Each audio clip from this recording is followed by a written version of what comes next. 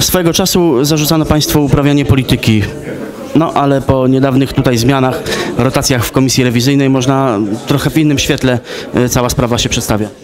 Tak, zarzucano nam uprawianie polityki w tym złym tego słowa znaczeniu, natomiast okazało się, że to nie my uprawiamy politykę, ale politykę uprawiają radni Platformy Obywatelskiej, którzy całkowicie e, wykonują polecenia pana prezydenta, aby z komisji rewizyjnej nie wychodziło nic, e, co nie jest e, chwalebne, co nie jest dobre dla pana prezydenta. Okazuje się, że jest mnóstwo rzeczy w tym mieście, które przez komisję rewizyjną powinny być sprawdzone, powinny, powinno być zaopiniowane, przekazane panu prezydentowi, a także e, mieszkańcom, do opinii publicznej.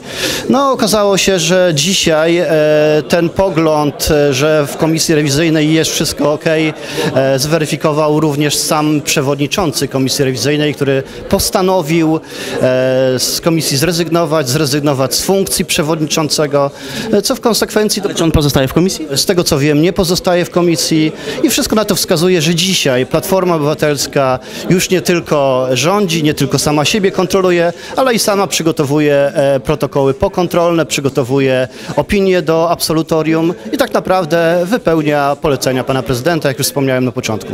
No ale w tym układzie y, nie chcielibyście wejść do komisji, mielibyście w tym momencie większość.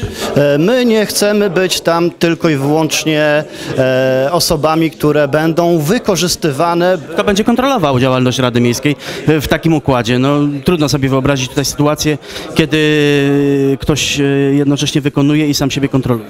Komisja rewizyjna nie pełni swojej ustawowej czy statutowej roli. Powinna kontrolować prezydenta, wszelką jego działalność. Tak nie jest przez to, że radni Platformy Obywatelskiej całkowicie podporządkowani są prezydentowi i tak jak powiedziałem, wykonują jego zlecenia.